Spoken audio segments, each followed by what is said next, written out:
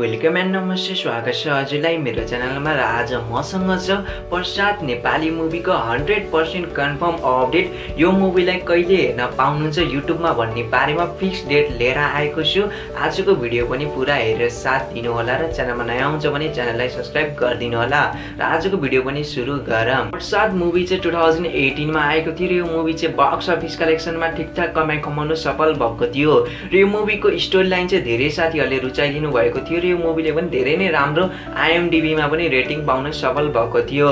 र मुभीमा चाहिँ हजुरले विपिन कार्की नम्रता श्रेष्ठ र निश्चल बस्नेतलाई चाहिँ मुख्य पात्रमा देख्न सक्नुहुन्छ। र अस्तिको भिडियोमा जो मैले भनिसकेको थिएँ कि यो मुभी चाहिँ तिहार पछि आउँछ भनेर र कन्फर्म भइसकेको छ यो मुभी पनि अब मङ्सिरको चार गते बिहिबारको दिन चाहिँ ओएसआर डिजिटलको अफिसियल युट्युब च्यानलमा। र ओएसआर डिजिटलले चाहिँ आफ्नो कम्युनिटी ट्याबमा चाहिँ पोस्ट हानिदिएको थियो र प्रसाद मुभी चाहिँ ट्युसडे आउँछ भनेर चाहिँ फोटोमा राखिदिएको छ भने स्ट्याटसमा चाहिँ रिलिजिङ अन फ्राइडे भनेको छ।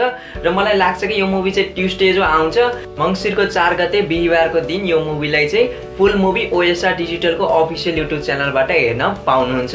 ओएसआर डिजिटलले चाहिँ ब्याक टु ब्याक नेपाली मुभीहरूलाई चाहिँ युट्युबमा राखिदिएको छ र हजुर प्रसाद मुभीको लागि पनि कति एक्साइटेड हुनुहुन्छ मलाई कमेन्ट बक्समा आएर पनि भन्न सक्नुहुन्छ। र आजको भिडियो यति नै। भिडियो राम्रो लागेर च्यानलमा नयाँ हुन्छ भने च्यानललाई सब्सक्राइब गरिदिनु होला